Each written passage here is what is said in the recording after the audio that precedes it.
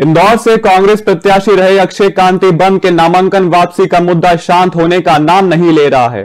कांग्रेस प्रदेश अध्यक्ष जीतू पटवारी ने इसे अपहरण बताया है।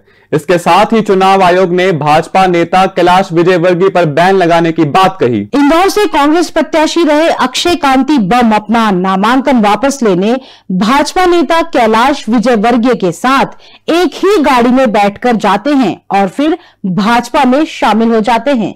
अब इस पूरे घटनाक्रम को कांग्रेस ने अपहरण बताया है। कांग्रेस प्रदेश अध्यक्ष जीतू पटवारी ने यह आरोप लगाते हुए कहा है कि यह पूरा मामला अपहरण की श्रेणी में आता है। पहले चुनाव आयोग कार्यवाही करता था, लेकिन अब हट धर्मिता की यह पराकाष्ठा हो चुकी है।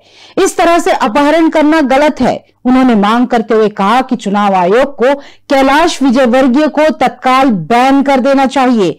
वहीं ओबीसी के मुद्दे को लेकर जीतू ने कहा कि राहुल गांधी ओबीसी वर्ग के लिए लगातार न्याय की बात कर रहे हैं। चुनाव आयोग को संज्ञान में लेना चाहिए कि इस देश में भारतीय जनता पार्टी ने लगातार हठधर्मिता की पराकाष्ठा की है। पहले हम बूथ कैप्चरिंग की सुनते थे, सब चुनाव आयोग संज्ञान में लेता था। अब ये प्रत्याशियों के अपहरण करने लगे, तब चुनाव आयोग मौन है। 25 लाख का बोलना अपने आप में कितना बड़ा क्राइम है, इसी वक्त कैलाश विजयवर्गीय को बेंड कर देना चाहिए। मैं मानता हूँ, चुनाव आयोग संज्ञान में ले, हम भी अपनी बात कहेंगे। पर इस तरह का क्राइम देश की लोकतंत्र की हत्या का जब बार बार कांग्रेस पार्टी कहती है तो उसका उदाहरण बनता है।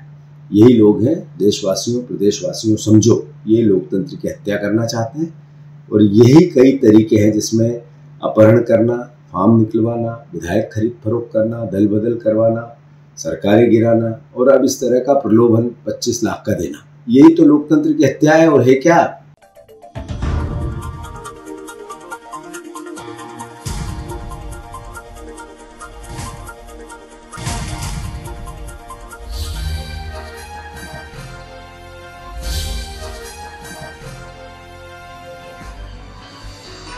आप देख रहे हैं दखल न्यूज़।